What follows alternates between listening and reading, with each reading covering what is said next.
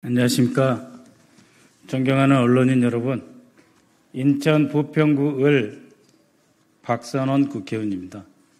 오늘은 대한민국 국가정보원이 연루되었다고 하는 미국 내 한반도 및 북한 문제 전문가 수미테리 사건 관련 기자회견입니다.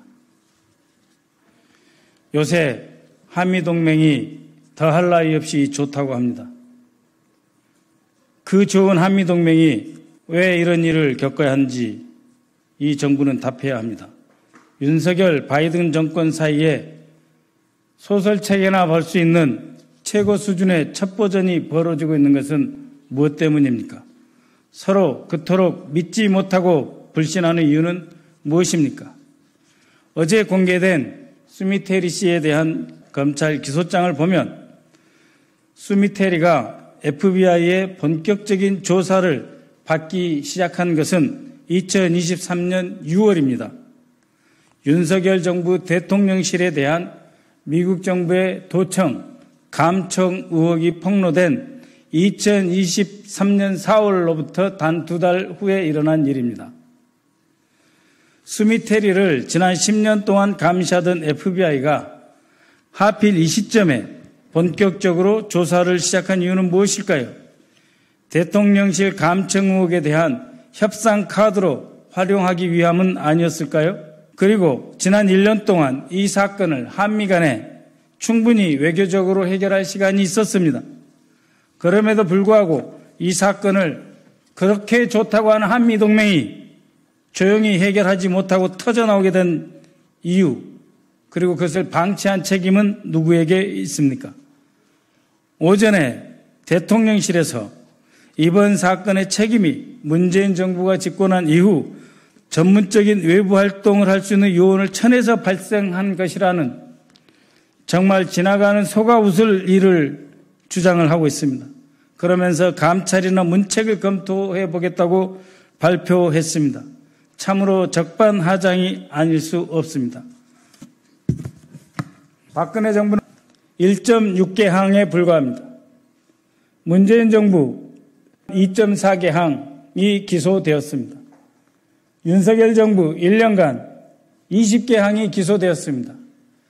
1년간 20개 항이 기소되는 이러한 비전문적이고 황당한 정보 활동이 어디 있습니까? 누가 누구에게 비전문가 운운하고 있습니까? 누가 누구에게 책임을 떠넘기려 하고 있습니까? 윤석열 정부 출범 이후 겨우 1년 동안 발생한 사건이 지난 박근혜 문재인 정부 임기 다 합친 것보다 많습니다. 또한 윤석열 대통령실은 이번 사건이 미국의 미국 대리인 등록법 위반 사안이라며 13년 전 공직을 떠난 민간인 수미테리의 기밀 정보 제공을 문제 삼은 것이 아니라 해당 법 등록 절차 미준수로 기소한 것이다. 라고 갑자기 조금 전에 추가로 변명을 늘어놓았습니다. 이것은 아마도 국정원 측에서 정정 요청이 있었기 때문에 대통령실이 황급히 수정한 것이라고 보고 있습니다. 그러나 이 기소장 맨 앞 페이지에 공개되지 않은 미국 정부의 정보를 한국 정보관에 제공했다라고 해서 단순하게 외국 대리인 등록법 위반 사건이 아님을 미 법무부는 밝히고 있습니다. 대통령실의 영어 실력 또한 엉망입니다. 다시 한번 말씀드립니다. 이 정권은 1년 만에 20개 항에 미 법무부의 기소를 당할 수 있게 활동을 한 그 책임 져야 할 것입니다. 그 책임은 실무자들에게 물어서는 아니 될 것입니다. 실무자들이 지시 없이 했겠습니까? 그렇기 때문에 대통령실에서 감찰 운운하는 것은 말이 되지 않습니다. 대통령 안보실부터 국가정보원 지휘부까지 이 문제에 대해 책임을 져야 할 것입니다. 존경하는 국민 여러분, 정부 세계에는 영원한 적국도 영원한 우방도 없습니다. 그러나 미국은 우리의 유일 동맹입니다. 그렇기에 미 국무장관 블링컨의 내부 회의 자료를 비밀에 빼냈다고 한다면 그것이 사실이라면 미국으로서는 용인할 수 없겠죠. 이것은 국가정보원 지휘부가 과도하게 업무를 지시하여 발생한 참사라고 보고 있습니다. 미국은 세계 스파이의 집합소라고 할 만큼 각국의 치열한 정보전이 전개되고 있는 현장이고 미국의 방첩 당국도 수미테리하고는 비교할 수 없는 진짜 스파이들을 감시하고 있을 것입니다. 그런데 왜 대한민국의 외교관 여권을 가진 정식 정보관이 이러한 일을 당해야 합니까?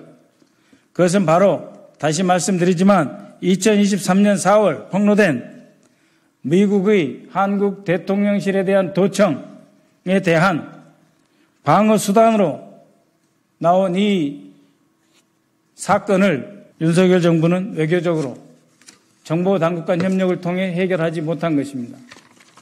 안보와 정보 모든 것에 대한 참사가 하루가 멀다 하고 나타나고 있는 것입니다. 1년 동안 이것을 해결하지 못하고 과연 지난 1년 동안 얼만큼 대한민국의 정보 역량이 취약해졌을지 상상하고도 남음이 있습니다. 동시에 대통령실이 과연 이 사건에 대해 전 정부 책임 운운하면서 언급하는 것이 온당한가 하는 점을 지적하지 않을 수 없습니다. 외국 정보기관의 국내 활동에 대해서는 우리 기관도 모두 주시하고 모니터링 하지만 절대로 외부에 노출시키지 않습니다. 이것은 정권의 이익 차원에서 다루어야 할 문제이죠. 공개적으로 언급하는 것은 금물입니다.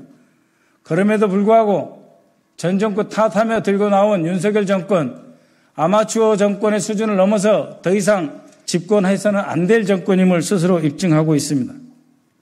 저희 민주당은 향후 정보위에서 이 사건을 철저히 다룰 것입니다.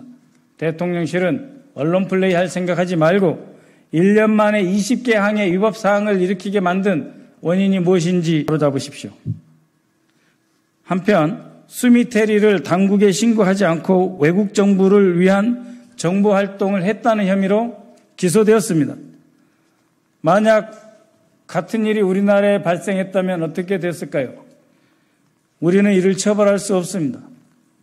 왜냐하면 현행법으로 적국만이 간첩죄에 해당되기 때문이죠. 그래서 현행법의 간첩죄를 적국이 아닌 외국으로 바꾸겠습니다. 형법 제98조 간첩죄의 적용 범위를 적국에서 외국 및 외국인 단체 등으로 확대하는 입법을 추진하겠습니다. 그리하여 우리의 안보, 우리의 정보를 지켜서 대한민국의 국익을 수호토록 하겠습니다. 아울러 국가정보원은 그 어느 때보다 철저하게 업무에 집중하여 주시기 바랍니다. 국익 수호와 국가 안보를 위해 헌신해 주시기 바랍니다. 특히 수미테리 사건의 법정 다툼이 있을 것으로 예상되는 상황에서 국정원이 섣불리 언론 보도용으로 대통령실 입 맞추기 위해서 감찰해서 무고한 직원을 희생시키고 불이익을 주는 일은 없어야 할 것입니다. 감사합니다.